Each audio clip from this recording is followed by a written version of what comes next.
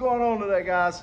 Um, I haven't made a video in a while. Uh, if some of you that follow along would know, I got hurt and had knee surgery uh, last summer, and it has significantly slowed me down. So I've been running behind on all my customer stuff, and I didn't feel like I should be taking time to make uh, silly YouTube videos if I'm not even getting to my customers' yards. Um, despite the uh, the uh, thrown together nature and uh, poor quality of these videos, it does still take time to put them together.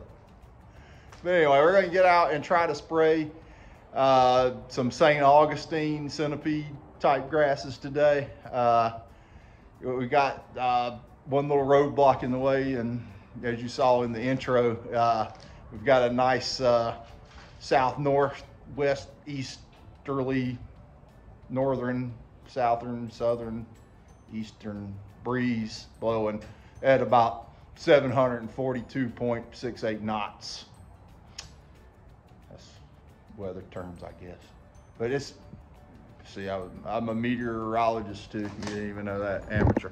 So uh, it, it is challenging to spray in these windy conditions, and we'll talk about why. Of course, the uh, one of the main concerns of spraying in the wind like this is uh, off-target uh, spraying. So uh, the wind could blow your herbicide onto uh, bushes, trees, uh, dogs, cats, etc. Um, and so you could kill something like that that you don't intend to, or the other off uh, deal is not being able to get it uh, on the ground where you want it and not be very successful at uh, killing your target weeds.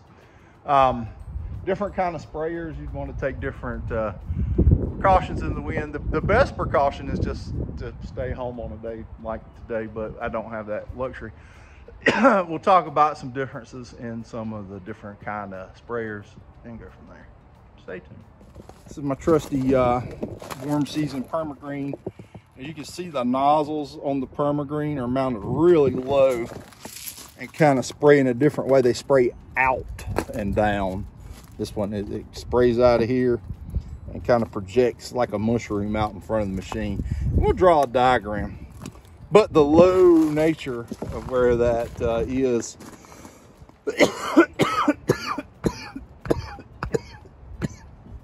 oh, we'll have to edit that out. The low nature of where that is um, can kind of help you in the wind and it not uh, disturb it as bad.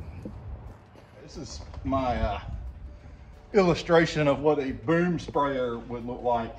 Um, see, this is your boom and it's going to be, uh, you know, they're varying heights off the ground depending on, you know, how your sprayer is set up. But it's going to be a little higher off the ground and it's going to have to spray out in these fan uh, shaped deals here to just coat your target as you go by. Generally smaller drops out of something like this. So, I mean, when I sprayed with a boom sprayer, I always used a, we call it AI nozzle. It doesn't mean that's not uh, the same kind of AI. That there might even be one sitting up there. There he is. Bear with me. Junk here something like this. And if you can see, it's got a hole in the side there that draws in air as it sprays and uh, makes the uh, drop bigger and heavier.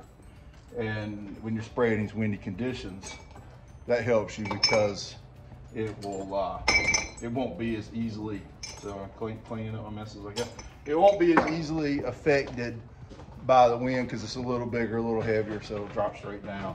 If you got a finer spray at, with this high off the ground, you're definitely going to get a lot of blowback onto your yourself. And uh, now, why did I spit when I said that? It just scared me, I guess. and uh, uh, and it's possibly onto uh, shrubbery and trees, that kind of thing. So uh, your your likelihood of an off-target uh, uh, application when you're in these windier conditions with a smaller, uh, uh like a standard fan tip nozzle uh, is definitely gonna go up because it's gonna be making that mist. It's high off the ground, so it's got a lot of room to get blown around and, and, and sprayed off target. So if you're gonna be using a boom, go with these AI nozzles and uh, your, chances are, are a little better. But with the permagreen, it sprays kind of low, and I'll draw a uh, diagram what that looks like now. All right, this is me on the permagreen with my with my bum knee. I have uh, got much more of this now, but anyway, it, it sprays from pretty low, a very big heavy drop out of the uh, out of the flood jet nozzle, and from overhead the pattern would look somewhat like this. Um, obviously, in a heavy wind, that pattern could be distorted, and that's going to be a problem. But it's so low to the ground, your, your chances are a little less of it being distorted. I mean, in a wind like today, I mean, I, I am just going to have to go out there and see how it goes, and be very cognizant of which way the wind's blowing. Uh, sometimes you could even you got a relatively big property and the wind's blowing from a certain direction, you're just going to have to make your passes where the wind would be at your back. Uh, so you have to go go down, spray them with the wind at your back, turn around, come back up, not spraying, and then just go back down spraying. Uh, and it, it will broaden that pattern a bit too if the wind's at your back. So that might uh, decrease your efficacy of your spray because it will kind of spread it out over a wider area.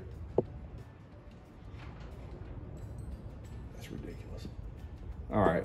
It's, it's my art.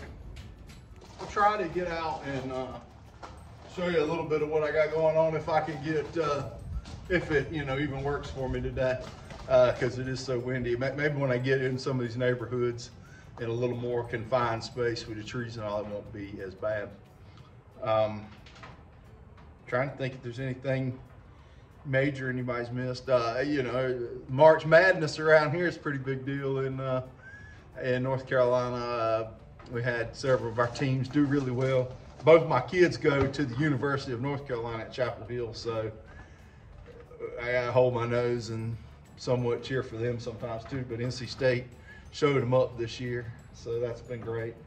And uh, Duke's a North Carolina school, but I don't know if we really count. I got some customers and all that went to Duke, but I don't really know very many, very many Dukies from that actually live in North Carolina. It's just just me, but. Uh, anyway, let's get to it. Yeah, looks like the wind's calmed down quite a bit. All right, this is uh, little St. Augustine yard. It's got, uh, I don't even know what the hell that is, but I'm fixing to kill it. All right, but in transition, you want to be pretty careful with it. It's a little on the edge where I'd want to fertilize it, but I think we're well out of the, it's with this uh, like April 12th today. So I think we're out of the danger of much more frost. It was, it, it got close last weekend to a frost, but not quite there. But anyway, I'm gonna go ahead and fertilize it too. But uh, I'm gonna use something like uh, atrazine in a very small, like uh, quarter ounce of metsulfuron methyl per acre and a crop oil concentrate. Try to get ourselves a quarter ounce of methyl furon methyl. And I can tell you this uh, flat cap measuring thing is about as accurate as the national news, which is to say not very much, but there's our quarter ounce. I keep uh, mark uh, old prodiamine jugs since I have so many of them for uh, specific things. And of course we're gonna put our uh, pound of uh, prodiamine in here. So we're gonna put these together in the jug. Mix them up. And we're gonna get our our atrazine as a liquid. We're gonna dump that in there after we get this. Put some water in this, mix it up. Then we'll put our atrazine in and get the spraying. All right, atrazine is not really a uh, do-it-yourselfer type of product. It's a restricted use product. It's uh, extremely mobile in the soil. So don't spray that stuff anywhere near water or any kind of ditches or anything that you're worried about it carrying into another water supply. So uh, just got to be very cognizant of where you're where you're shooting your atrazine. And the crop oil concentrate I use in conjunction with it kind of helps hold it in the top uh, profile of the soil. So work with it like that. You can find atrazine on some uh, uh, products. You'd find it Light Lowe's. Your Scott's uh, Bonus S has atrazine on it. Uh, I I have used that like a long time ago. Um, it's, it's pretty high nitrogen for a uh, centipede St. Augustine fertilizer. Um, it has the atrazine on it, so I mean it can kill weeds for you. It's, you just get those rates right. Uh, it, it's a it's a real slow release urea, so I mean that's the I guess that's their their way of getting around it, burning the grass. But uh, you can you can damage centipede St. Augustine with bonuses.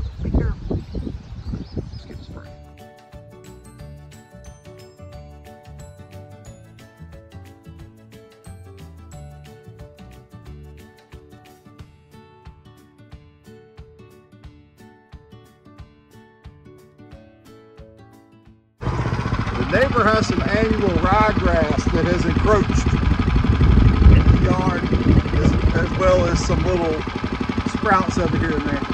That annual ryegrass will not like this. It's breaking. Here's another one. I mean, of course, by this time of year, you'd like for them to look better, but uh, I mean, temperatures have been up and down. We've had some nights in the 30s. It was in the 30s last weekend at night. Um, this is was sodded just like last year. So, um,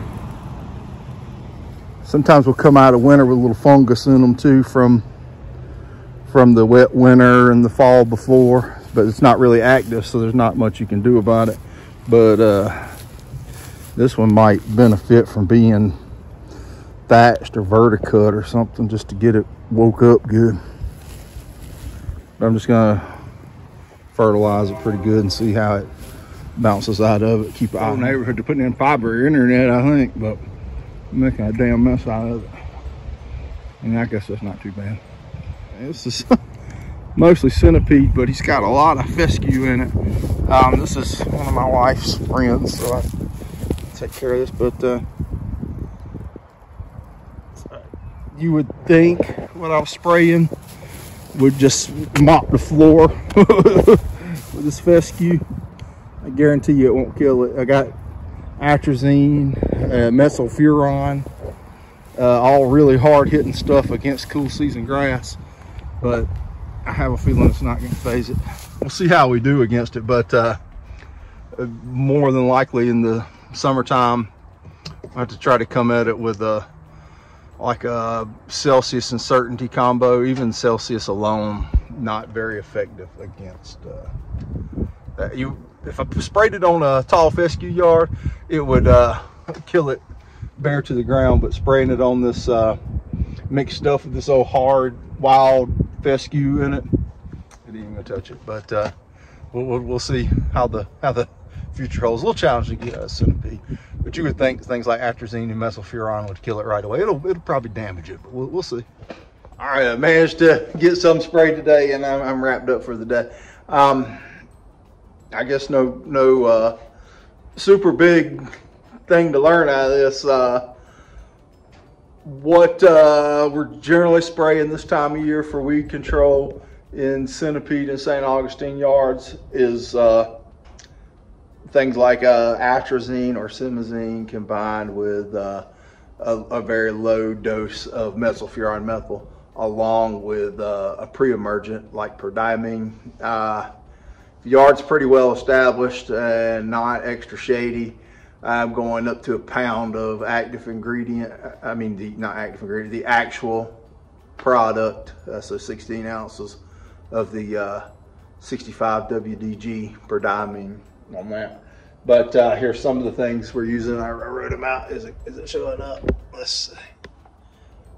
All right, like atrazine, simazine, uh, change up to some extent. And when it warms up uh, for good and the grass is green, uh, uh, the regular maintenance in those yards is going to be things like change up or Celsius.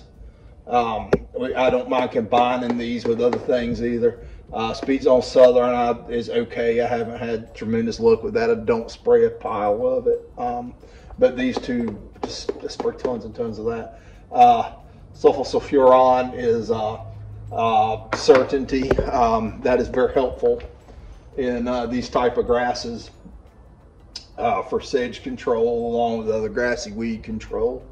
Um, so you could combine things like your Celsius and your sulfosulfuron, your change up, and your, we're just going to call this uh, certainty for, for easier pronunciation sake. Your change up and your certainty, even your atrazine and your uh, certainty. Uh, uh, sulfuron is uh, katana. Probably not so much in St. Augustine, but definitely uh, uh, okay in some of your centipede uh, lawns for really hard to kill uh, weeds like uh, the one that I showed you had the uh, had the fescue clumps in it. You might could uh, come at it with some katana and the MSMs, the metsulfuron methyl is pretty much a staple sulfonylurea to add in on your treatments for any of these other very low amounts on this uh, MSM, especially in uh, Centipede and St. Augustine, and definitely especially in this time of year when they're transitioning from dormant to uh, green. Uh, no more than a quarter of an ounce per acre this time of year. Uh, when it warms up into the summer and the grass is pretty strong and vigorous, uh, you go up to a half an ounce